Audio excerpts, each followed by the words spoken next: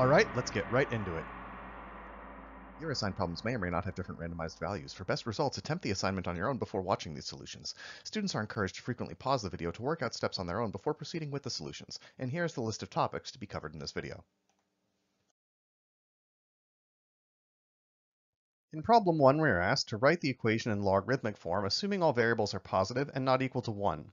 Before we proceed, observe that the variable v is the exponent in this exponential equation and could conceivably be any real number. u is the output of the exponential and will definitely be positive, but could actually be equal to 1. The language assume all variables are positive and not equal to 1 is sort of blanket language because in an exponential expression, the base itself should be positive and not equal to 1. Anyway, remember that the exponential expression b to the x equals y is by definition equivalent to x equals the logarithm base b of y.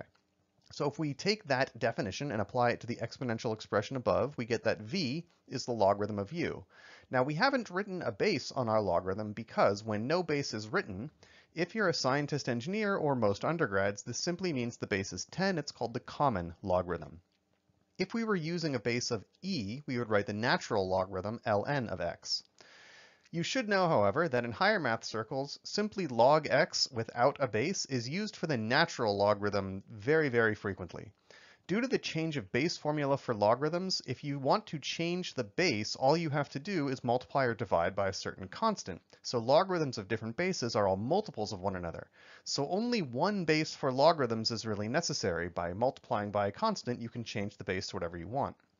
In calculus, base e is by far the easiest to use. So in mathematics, we often just assume that logarithms are always natural logarithms. In practical applications, though, base 10 is often quite convenient.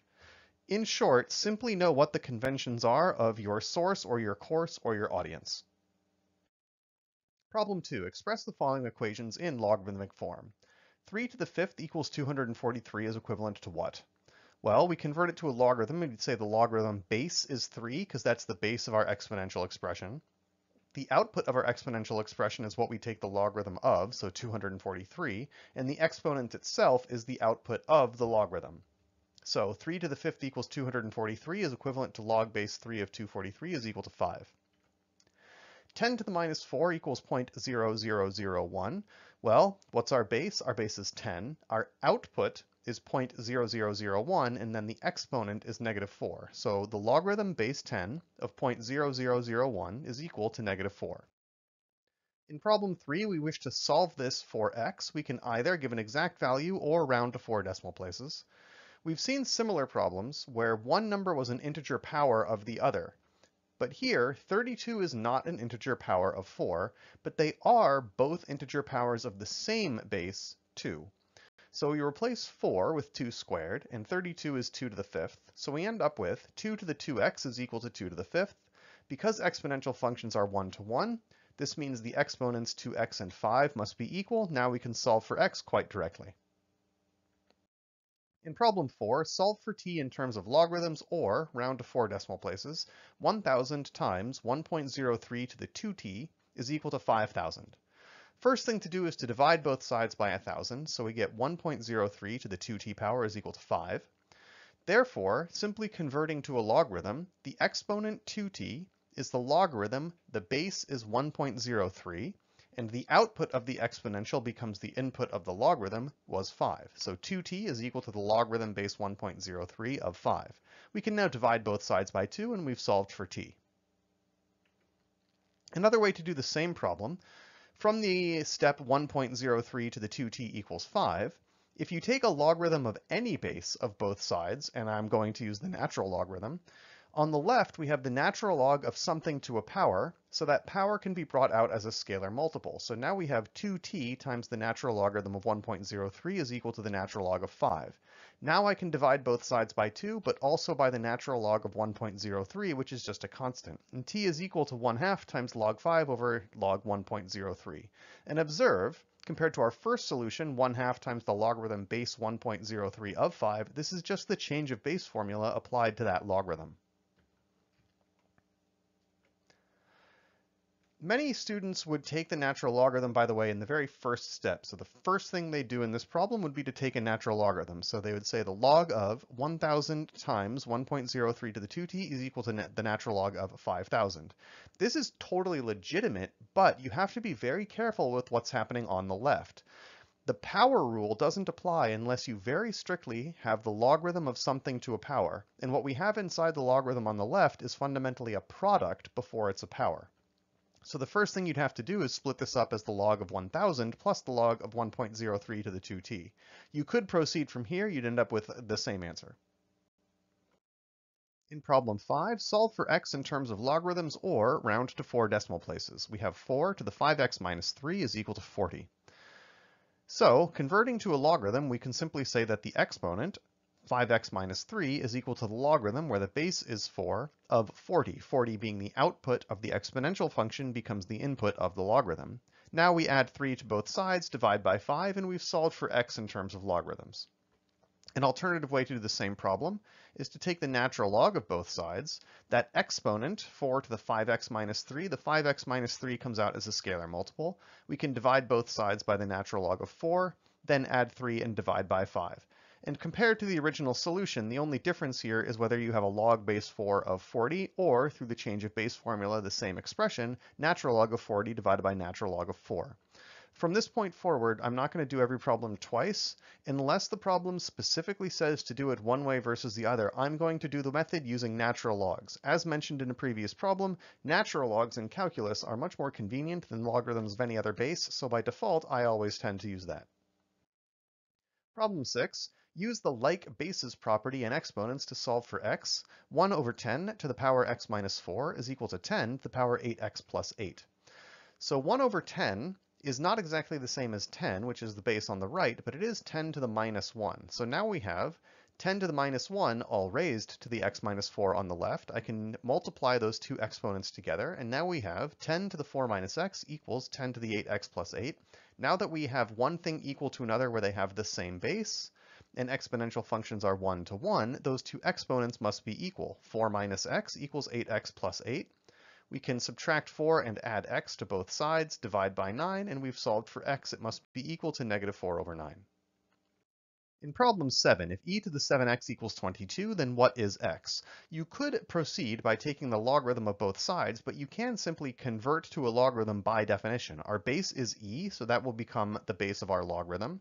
The input of the exponential, 7x, becomes the output of the logarithm, and the output of the exponential 22 becomes the input of the logarithm. In other words, e to the 7x equals 22 is by definition the same thing as 7x equals the natural log of 22. Divide by 7 and we're done.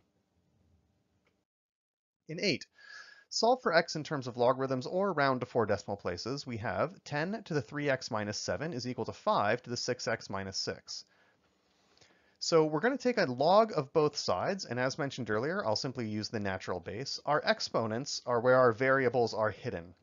To get exponents out of being exponents and being multiples, we need to take logarithms. So with a log of something to a power, we can bring that power out as a scalar multiple. Both left and right are the log of something to a power, so those powers comes out as scalar multiples. 3x minus 7 times the natural log of 10 equals 6x minus 6 times the natural log of 5. Now the natural log of 10 and the natural log of 5 may look like there's some further work to be done there, but there isn't. Those are exact values. The natural log of 10 is just some number. So we're going to distribute both sides. We're going to gather all terms that have x to one side, all of the constant terms to the other, and remember, log of 10 and log of 5 are just constants. Then we can solve for x. So distributing on the left, we get 3x log 10 minus 7 log 10, and on the right, we get 6x log 5 minus 6 log 5. Moving all of the terms with x to the left and all of the terms without x to the right, 3x log 10 minus 6x log 5 equals 7 log 10 minus 6 log 5. We can factor in x out of the expression on the left and then divide by what remains. To solve for x is equal to 7 log 10 minus 6 log 5, all divided by 3 log 10 minus 6 log 5. So we've solved for x to be 7 log 10 minus 6 log 5 over 3 log 10 minus 6 log 5. There is optional simplification to be done from here, unless you're specifically instructed that this is not sufficient, and I would generally leave it as it appears above, but sometimes people like to see some more work. So we can now bring those scalar multiples, 7, 6, 3, and 6 respectively, inside as powers, and then we would have a difference of two logarithms that would become a quotient. So now we have the logarithm of 10 to the 7th over 5 to the 6th divided by the logarithm of 10 cubed over 5 to the 6th. 10 to the 7th is 5 to the 7th times 2 to the 7th, so I can cancel most of the 5's out there. Similarly, down in the denominator, 10 cubed is 5 cubed times 2 cubed, so I can cancel all the 5's from the numerator and some from the denominator. 5 times 2 to the 7th is 640. 2 cubed over 5 cubed is 0.064, so you could write it like this. You could then, through the change of base formula, call this the logarithm base 0.064 of 640. Problem 9. Solve for x in terms of logarithms or round to four decimal places, and our starting expression is 10 times 1.12 to the x is equal to 2 times 1.08 to the x. So we take logs of both sides because the x is hidden up in the exponent, Remember, however, that what we now have logarithms of are fundamentally products, so we have to use that sum rule first. So on the left we have log 10 plus log of 1.12 to the x, and on the right we have log 2 plus log of 1.08 to the x. Now we can bring those exponents x out as scalar multiples. We can gather x to one side and bring everything else to the other and solve for x. So moving all our x terms to the left and all of our constant terms to the right, we have x times the log of 1.12 minus x times the log of 1.08 is equal to log 2 minus log 10. We can factor an x out on the left and divide by what remains. x is equal to log 2 minus log 10, all divided by log 1.12 minus log 1.08. Since we've got this far, we can optionally simplify. It can also be computed pretty easily with a calculator or computer. If a single logarithm is specifically asked for, we can combine these things. So in the numerator, log 2 minus log 10, I can call log 2 over 10. And log 1.12 minus log 1.08, we can call log of 1.12 divided by 1.08. Just some fractional simplification there. We can call this now log of 1 fifth divided by log of 28 over 27. The log of 1 fifth, it would be quite common to call this the log of 5 to the minus 1 so that you can factor out the minus 1 and just call it log 5 divided by log 28 over 27, and that's the change of base formula representing negative log base 28 over 27 of 5. And again, I would only go through this work if you are specifically asked to present the solution as a single logarithm. Problem 10, we're going to solve a bunch of things for x. Log base 8 of x is equal to 9. Converting to an exponential, x is 8 to the 9th. That's it. For b, log base 7 of x is equal to 2. Converting to an exponential, x must be 7 squared. Done. Problem 11. Write the equation in exponential form, assuming all constants are positive, not equal to 1. The logarithm base c of r is equal to z. Converting to an exponential, c to the z is equal to r. Problem 12, solve for p. Log base 7 of p is equal to minus 3. All we have to do is convert to an exponential. 7 to the minus 3 is equal to p, and we're done. 13, solve for x. 9 halves times the log base 3 of x is equal to 4. Before we can convert our logarithm into an exponential, we need to just have a logarithm on one side. So we multiply both sides by 2 ninths, and now we have the log base 3 of x is equal to 8 ninths. Now we can convert this directly to an exponential. x is equal to 3 to the 8 ninths.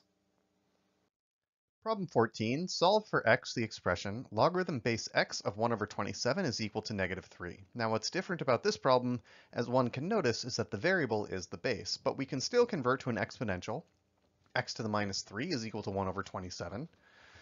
1 over 27 happens to be 1 over 3 cubed. In other words, x to the minus 3 is 3 to the minus 3.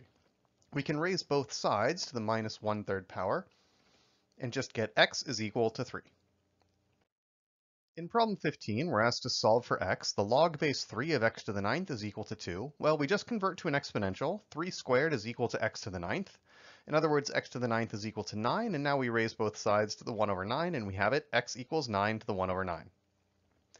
As a side note, If you punch into a calculator 9 to the 1 ninth, or in general any a to the b, how do calculators compute it? There are well-written algorithms for computing natural logs and exponentials of base e. So if you happen to be asking for a natural log, or an exponential where the base is e, that can be done quite readily. So if you want to compute a to the b, you can say that x is by definition the same thing as e to the natural log of x. x was equal to a to the b, so we have e to the natural log of a to the b. Based on properties of exponents, this is e to the b times log a.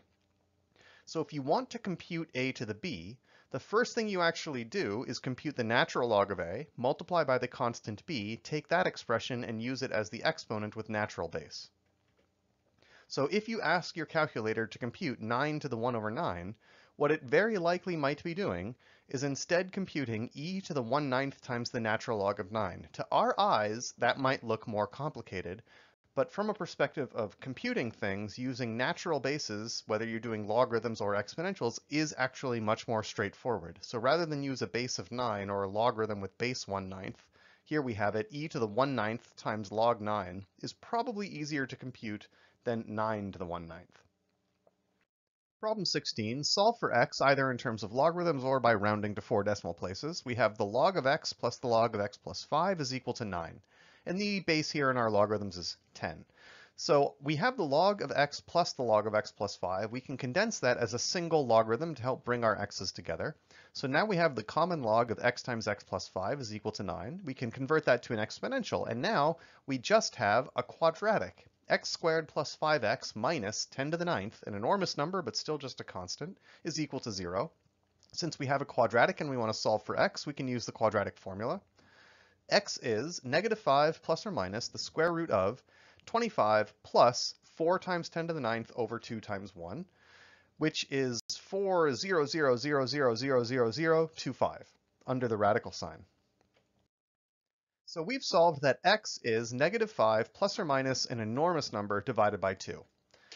Both of these numbers are solutions to the quadratic. That does not mean they are solutions to the original problem. We need to check if they're actually in the domain of the original expression.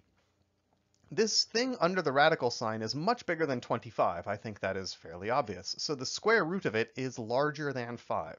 In other words, we have negative 5 plus or minus something bigger than 5 over 2. So if we were adding it, we'd have negative 5 plus something larger than 5. That would be positive. So x plus 5 is also positive. If x is equal to negative 5 plus something bigger than 5 over 2, that's positive, and if you add 5 to it, it's still positive. Therefore, both log x and log of x plus 5 would exist. So it, from the quadratic formula, we had two solutions. The one with a plus is in the domain of the original expression and therefore is a solution. But if we had the minus, x itself would be negative. It would be negative 5 minus the square root of something over 2. Then we could not compute the log of x. A negative number would not be in the domain of that logarithm. So the only solution is in fact negative 5 plus the square root of 4, 0, 0, 0, 0, 0, 0, 0, 2, 5, all divided by 2. Now, how did we end up generating a false solution? This can be kind of problematic. Students may think that somehow the technique is wrong or we're cheating or something like that. So how did we end up with a false solution? We took a step and said that log x plus log x plus 5 is equal to the log of x times x plus 5. That is true, provided that all of those terms exist. Both numbers we found solve this expression. Whether x is negative 5 plus a radical over 2 or negative 5 minus that radical over 2, both of those x's solve this expression, but only the positive one solves the original. In other words, if x was negative 5 minus a radical over 2, we would have a negative x and x plus 5 would be negative meaning when I multiply a negative value of x and a negative value of x plus 5 together, that would be positive. So I could compute the logarithm of x times x plus 5, because x times x plus 5 would be positive. And therefore, that would be in the domain, and that would be fine. But if x and x plus 5 are both negative, in the original expression, I cannot compute their logarithm. Problem 17, if the natural log of x plus the natural log of x minus 4 is equal to the natural log of 8x, then what is x? On the left, I'm going to combine these as a single logarithm because what I want is the natural log of something equals the natural log of something else with just one logarithm on both sides because now I can exponentiate both sides or simply rely on the fact that logarithms are one to one and say if the natural log of one number equals the natural log of the other, well then those two numbers must have been equal. So x times x minus 4 must be equal to 8x. Distribute, move the 8x over, factor out an x. x could be either 0 or 12. However, x equals 0 is not in the domain of the original expression. You cannot compute the log of 0 or the log of 8 times 0. But if x is equal to 12, then x, x minus 4, and 8x are all positive numbers, and that's a totally legitimate solution. So x equals 12 is valid in the original solution and is the only valid solution to this expression. Problem 18, find the largest value of x that solves the logarithm base 6 of x squared minus the logarithm base 6 of x plus 3 is equal to 9. Well, we've got two distinct logarithms on the left-hand side, and logarithms are much easier to deal with when you only have one of them, so turn that into the logarithm of a quotient. Now I can convert it to an exponential. x squared over x plus 3 is equal to 6 to the ninth. Multiplying both sides by x plus 3, we now have a quadratic. x squared minus 6 to the ninth times x minus 3 times 6 to the ninth is equal to 0. By applying the quadratic formula, we get x equals, this is kind of a mess, but 6 to the ninth plus or minus 6 to the ninth squared, otherwise known as 6 to the 18th, minus 4 times 1 times 3 times 6 to the ninth. Now 6 to the 18th under the radical is way bigger than 6 to the ninth. How much bigger is it? It's bigger by a factor of 6 to the ninth. In other words, if you actually computed 6 to the 18th minus 12 times 6 to the ninth, it's more or less equal to just 6 to the 18th. So the positive radical will be fairly close to 6 to the ninth plus the square root of 6 to the 18th, which is again 6 to the ninth, all divided by 2. In other words, you're going to be pretty close to just 6 to the ninth, a really enormous positive number. So you could take that enormous positive number and plug it in for x, and x squared and x plus 3 would both be positive. That will be a solution to the original expression. So the largest solution is the largest solution to the quadratic we found. 6 to the ninth plus the square root of 6 to the 18th minus 12 times 6 to the ninth divided by 2. Of the two solutions we found, the first thing we did was say, let's just test if the bigger one is actually a solution, and then we won't even have to worry about the smaller one, and it was, so we're done. In problem 19, we're going to exactly solve the inequality. Log base 10 of 14x is less than minus 3. Exponentiation with a base larger than 1 is an increasing function. As you move from left to right, the graph goes up plugging a smaller number in compared to a larger number outputs a smaller number compared to a larger number. In other words, you can apply such functions to inequalities. If a function is always going up from left to right, plugging a smaller number in always produces a smaller output. If you know one number is less than another, then the function applied to the first will be less than the function applied to the second. Similarly, if the function is always going down, then plugging in a smaller number produces a larger output. You can apply a decreasing function to an inequality if you reverse the direction of the inequality. If the function is not always going up, or it is not always going down, it becomes very tricky to know how inequalities interact with that function, so be careful. But since exponentiation with base 10 is increasing, if the left side is less than the right, then 10 to the left is less than 10 to the right. And on the left, we have exponentiation with base 10 being composed with logarithm of base 10. Those are inverse functions we just get. 14x is less than 10 to the minus 3, which resolves down to x is less than 1 over 14,000. But we're not quite done.